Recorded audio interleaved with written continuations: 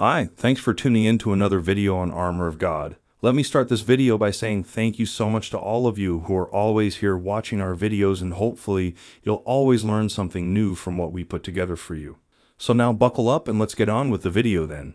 There's something that Monsignor Rossetti said that really caught my attention, and I really believe you'll find this one interesting too about God and how hell really is a mercy to the fallen angels. One of the major obstacles is always the reality of suffering and evil. How can God allow this?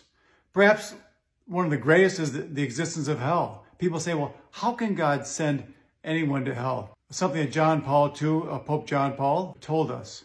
He said, God really doesn't send anyone to hell.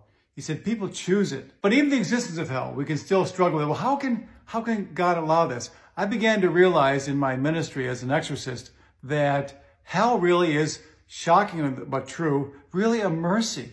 Everything that God does is loving and merciful, even though it might not seem it at the time. I notice in exorcisms that when we hold up anything holy, the demons go nuts. They, they, you hold up a crucifix, ecce, crucem domini, fugite parte adversae. They start screaming. If something small like that could cause them an immense amount of suffering, Imagine what it'd be like for the demons to be in the presence of God. It would be a torture beyond belief. They couldn't stand it. So hell is a place, sadly, uh, away from the Lord, who they rejected, and were they in God's presence, it would be a suffering beyond, beyond anything. So as crazy as it sounds, for them, hell really is uh, a, a mercy. Now, I'm sure some of you have heard exorcists and the church saying this that yoga is a portal to the demonic. I've shared a clip of Father Ripperger regarding this subject before, and I'll share it again here. Father Ripperger, is yoga a portal to demonic obsession, possession? Um, it is. Uh, this one's always one of those. I know. I'm getting ready sure for hear the screeches to emerge. Yeah, yeah. yeah. Don't go on the internet and type it, is this occult? Because you, are going to get all sorts of what. You have to research the masters, the yoga master. And every single one of them will say that the positions and motion and stretching that is done in yoga each one of them is a representation of an, a specific Eastern deity, which is AKA a demon. So, that being said, yes, people can become diabolically influenced. I do know two women who became possessed from practicing yoga.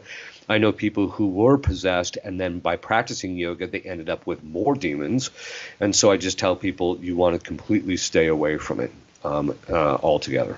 Yeah. So, with that in mind, in case some of you are saying Father Ripperger just making things up, let me share a short clip of an actual Hindu explaining what yoga really is. Because we have the International Yoga Day coming up, and yoga is a big buzzword now. Literally, everyone knows or thinks they know what is yoga, and everyone wants to do yoga, which is a great thing. Uh, but there is a very significant aspect of yoga which most of the yoga teachers, even gurus, have not really touched upon or not really spoken on enough. Yoga is a science. Yoga is not just moving your arms and legs. Moving your arms and legs is not called yoga. So this is something I wanted to really, really emphasize because people have forgotten that. Yoga is not just about moving your arms and legs. Yoga is a clear science with a clear purpose. And yoga is such a science which is given by Mahadeva himself by none other than Mahadeva thousands and thousands of years ago. And what is the purpose of yoga, how it is supposed to be practiced, has been given in the Agamas and in many other Vedic texts like Gheran Samhita, um, like the Svatmarama text, Hatyo Pradipika. All these texts give really clear instructions on yoga. And it is really, really sad to see that even the so-called gurus and gurujis have nowadays started promoting yoga as just a spiritual practice. See, it is very important to understand that yoga is a spiritual practice, but it is not just that. For things like this, let's see it as what it really is and not from so-called Western yoga practitioners who keeps on saying that it's merely a form of exercise. And that is why I decided to share again what Father Carlos Martins said about our society today. That, hey, there's an update. We're in a different time right now. Uh, evil is is is very active, and well, I mean, let me say this: it, it may not be the case that evil itself is more active. It may be performing right. the same activity in the same way that it always has, but sure. it's becoming more effective. And it's becoming more effective because society as a whole is becoming pagan again. Yeah. The Christianity is is being eclipsed as as the dominant cultural pull position mm-hmm. of of society of western society. And as the Christian pillars upon which our societies, our communities, our countries have been have been built on, then that spiritual vacuum that is left, elements move in to fill in that vacuum. Because yeah. you know, William, we, are created by the Lord to be spiritual mm-hmm. beings. We're created to crave the transcendent and the supernatural. Yeah. And if we if we cannot find rest within what the Son of God has done for us, we're going to seek it somewhere else. Yeah. And that somewhere else is going to be dangerous. And the, the that that danger, the exposure to that kind of danger via the dabbling in the occult, via the sexual excesses of our culture, via the the the gender confusion that is writ large, via yeah. the woke culture, uh, via all of the the different elements through which we are connecting to that goes contrary to the sacredness of the human nature of the human person yeah. then that's going to lead us into trouble that that are, those are going to form conduits by which the devil attaches himself to us Monsignor Rossetti and his team spent a lot of time dealing with lower ranking demons, and most people who are possessed have such lesser demons. And if the exorcists do get their names during the exorcism, they are not commonly known.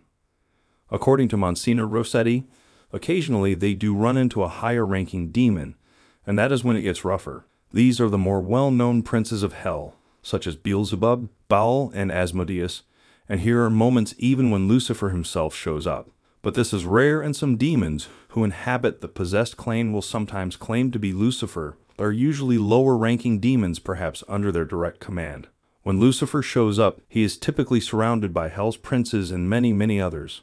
Monsignor Rossetti shared an incident that happened during an exorcism session where he was interrogating the demons and commanded them to tell him who was the leader of the possessing demons.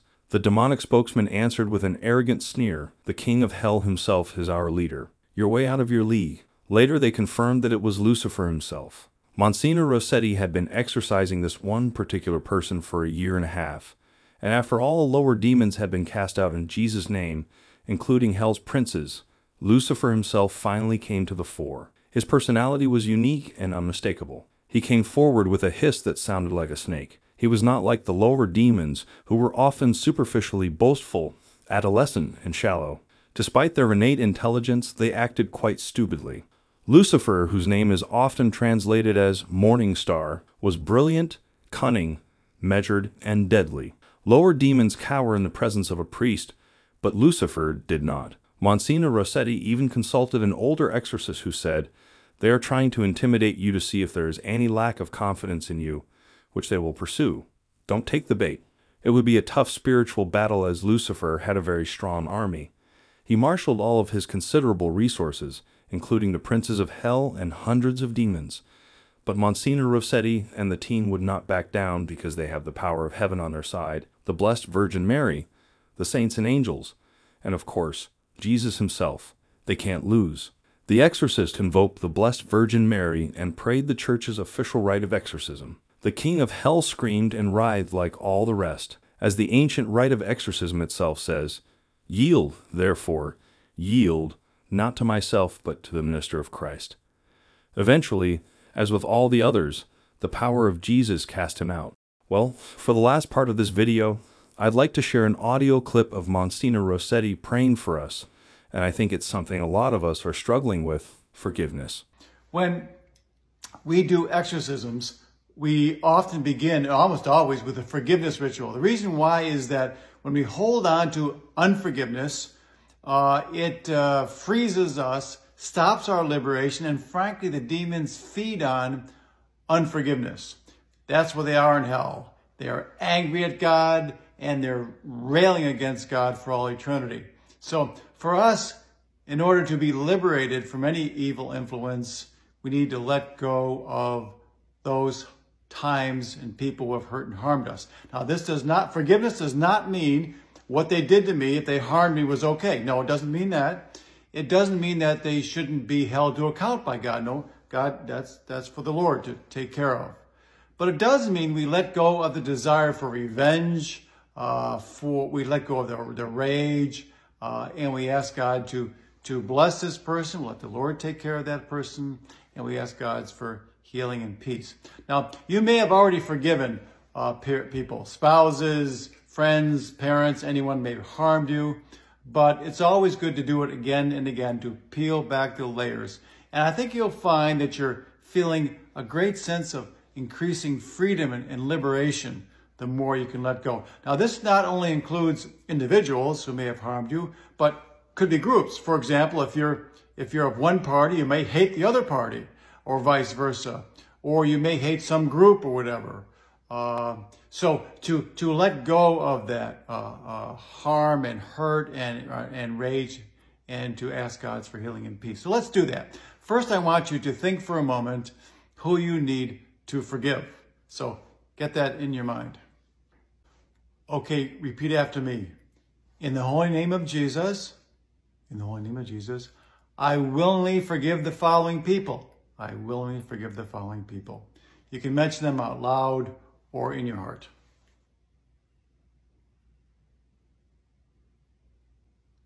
I forgive them all and I ask God to bless them.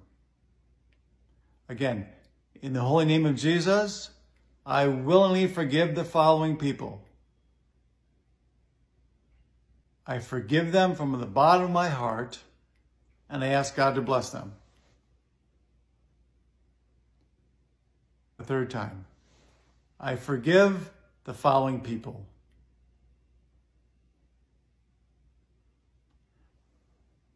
And I ask God to bless them. Now let's include ourselves.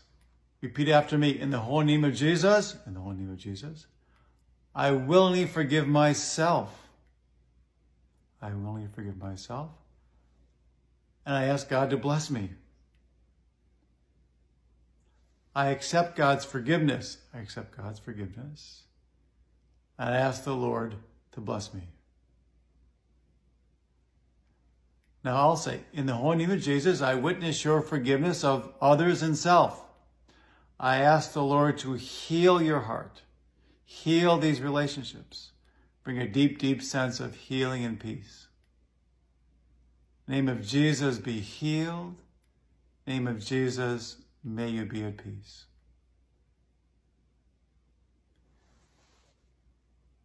May the Holy Spirit indeed lift any burden from you and give you a deep, deep sense of the Lord's peace. Well, then that's all for this video. Thank you again so much for taking the time to watch this video and if it's not too much of a hassle, please share this video on your Facebook or Twitter so that more people will know about this. For any of you who'd like to support our works, I left a link to our PayPal donation in the description box below. I'd like to thank all of you in advance for every contribution you make. Well, until the next video again, thanks so much. Stay safe, stay healthy, and God bless you.